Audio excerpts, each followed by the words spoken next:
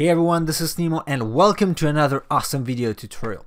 So today we're gonna add a useful flag to orders with return products in ThirtyBees and PrestaShop. And um, you can see here on my right hand side I have an order with a check mark under this return column here. Well, others have crosses because of course we didn't return any product for them. Neat. So before starting, actually, I'm going to use ThirtyBees for the demo, but of course, the same process applies to PrestaShop 1.6 as well. So if you're a PrestaShop user, you can follow along without worrying. All right, enough chit-chatting, let's get to it. So to add the column, we only have to edit one file, admin orders controller.php. So I will find it in controllers admin and I will open it up here in my code editor. So the process itself is a little tricky here because we cannot add the new element to the table without a corresponding column in the database. So to start with, we will add a dummy value. So first off, I will join a new table and I'm going to copy this part to be faster. So the table is order detail alias od on od id order equals a id order. Now I need to grab that dummy value in my select. So I will scroll up here and add it, say, after the OS color. So od dot product quantity return as has return and uh, we can use any well we can grab any column here but I'm just gonna use this one since it's the most meaningful. Always remember to add comma otherwise you're gonna break the query. Before I forget and before continuing we need to group these results. Otherwise since we added this new column here it's gonna create duplicates. So this underscore group is gonna be group by a.id order.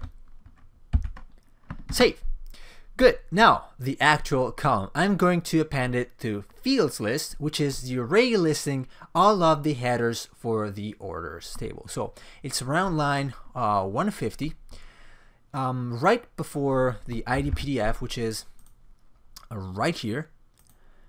I will copy this date add field and paste it back in. So I'm going to call it has returned since this one needs to have the same name of the alias we chose before. And the uh, table header is going to be return.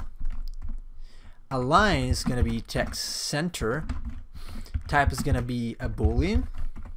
It's not going to have a filter key, but it's going to have a callback. So I'll copy it from here and uh, actually, let me show you what happens if I don't add the callback and save. It's just going to grab the first value it finds. Sorry, this is PrestaShop. It's just going to grab the first value it finds in the order details. So it's not exactly meaningful, not always precise. It's correct in this case, but this is just a coincidence. So I will add my callback now, and it's going to be get is pre turn. All right, save again. So whenever we have a callback for these fields, the second element always represents a single order item. So if, if I go back and add it now, public function get is return.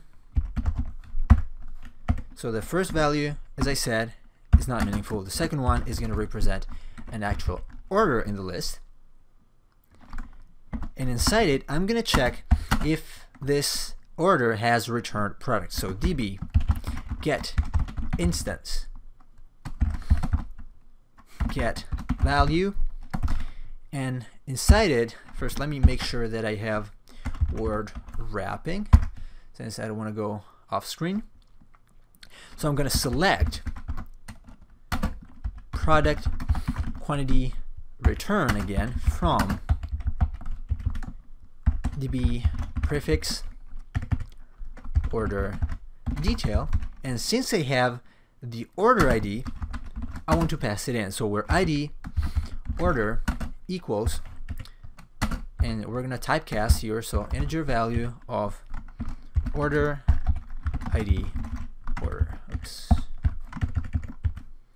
We also want to check that this um, product quantity return is 1 or at least uh, more than 0 because otherwise we'll have a value um, in any case anything it returns so I'm going to add another condition and it's going to be add product quantity return is more than 0 so if this returns something if this query returns something we know that it has return products.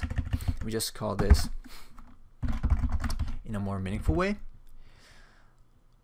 Alright, seems good. So next up, if this returns something, I'm going to create an icon, the, the fancy icon we just saw.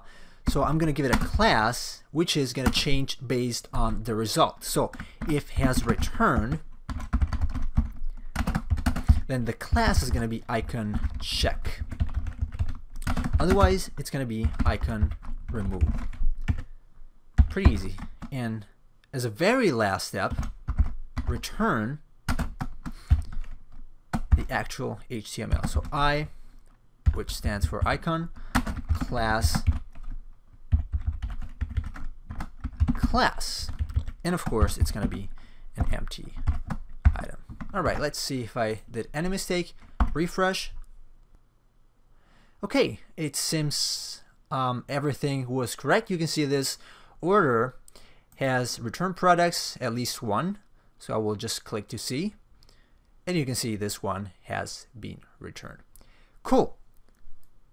Alright, this is everything for today's video. I hope you found it useful. And if you did, you can subscribe to the channel and follow the blog at nemops.com to always get the latest tutorials and tips. Thanks for watching. I will see you next time.